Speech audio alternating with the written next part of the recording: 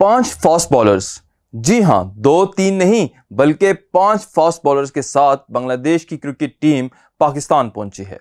मतलब बांग्लादेश को पता चल गया कि दो मैचेस की टेस्ट सीरीज़ में पाकिस्तान फास्ट ट्रैक्स बनाने जा रहा है। ऐसी पिचेस जो भरपूर सपोर्ट करेंगी फास्ट बॉलर्स को। अब इसमें दो बातें हैं। पहली ये है कि पाकिस्तान के कोचेस गैरी क्रिस्टन और जेसन ग्लेस्पी छा गए वाकई ही छा गए क्योंकि ये इन दोनों, खासकर जेसन ग्लेस्पी का ही फैसला है कि बांग्लादेश के खिलाफ सीरीज़ में पाकिस्तान फास्ट पिचेस बनाएगा। ये इंतहाई बोल्ड डिसीज़न है। इससे हमारे प्लेयर्स तेज विकेट पर खेलने के काबिल हो जाएँगे। मगर दूसरी बात यह कि फास्ट पिचेस बनाएगा कौन? हमें तो न स्पिन ट्रैक्स बनाने आते हैं और ना ही तेज। लेकिन जनाब, इसका बंदोबस्त पहले ही कर लिया गया था। पिछले माह पाकिस्तान ने 40 साल का तजुर्बा रखने वाला ऑस्ट्रेलियन क्यूरेटर टोनी हेमिंग को दो वर्ष के लिए नया हेड क्यूरेटर बनाया है। टोनी हेमिंग 2007 से 2017 तक आईसीसी के हेड क्यूरेटर रहे हैं। उन्होंने ही मेलबर्न और पर्थ समेत ऑस्ट्रेलिया के मुख्तलिफ़ ग्राउंड में पिचेस तैयार की हैं। अब बांग्लादेश और न्यूजीलैंड के खिलाफ पाँच टेस्ट मैचेस और चैंपियंस ट्रॉफी की विकेटें भी टोनी हेमिंग ही तैयार करेंगे। तो जनाब, अब पता चला कि इमाम हक को क्यों ड्रॉप किया था जेसन ग्लेस्पी ने। इमाम अच्छे प्लेयर हैं, पर तेज विकेट्स के नहीं, इसलिए इनको सिलेक्ट नहीं किया गया।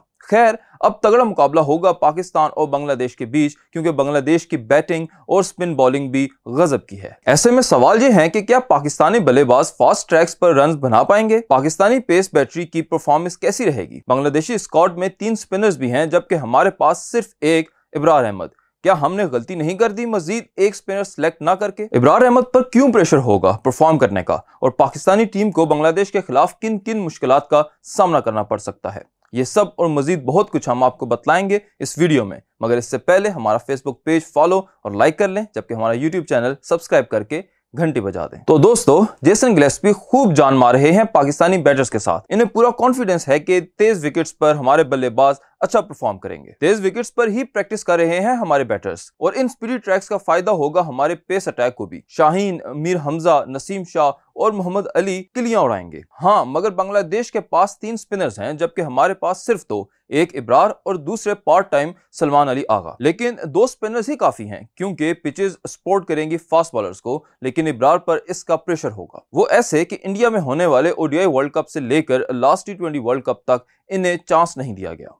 अब चांस दे रहे हैं तो इनसे तो भी बहुत ज़्यादा हैं। ऊपर से पिचेस भी फास्ट बॉलर्स को सपोर्ट करेंगी, लेकिन उम्मीद यही है कि इब्रार इन सब के बावजूद अच्छा परफॉर्म करेंगे। और आखिर में बात इन मुश्किल की, जो टीम को बांग्लादेश के खिलाफ पेश आ सकती हैं। तो दोस्तों, सबसे बड़ी मुश्किल यह है कि लास्ट टी वर्ल्ड कप में बदतरीन हार के बाद पहली सीरीज़ खेलने जा रहा है पाकिस्तान। इसके अलावा टीम में इख्तलाफात भी थे, नायब कप्तान भी चेंज हो चुका है। ऐसे में जब तक लड़के सारे इख्तलाफात साइड पर रखकर एक होकर नहीं खेलेंगे तो मसाइल रहेंगे। लेकिन हमें यकीन है कि जेसन ग्लेस्पी ने सबको तीर की तरह सीधा कर दिया है। और अब सब अच्छे बनकर और एक होकर पाकिस्तान के लिए जान लड़ा देंगे। अब आप कमेंट करके बताएँ कि क्या टीम पाकिस्तान व्हाइट वॉश कर देगी बांग्लादेश को? और हाँ वीडियो को लाइक और शेयर भी ज़रूर करें।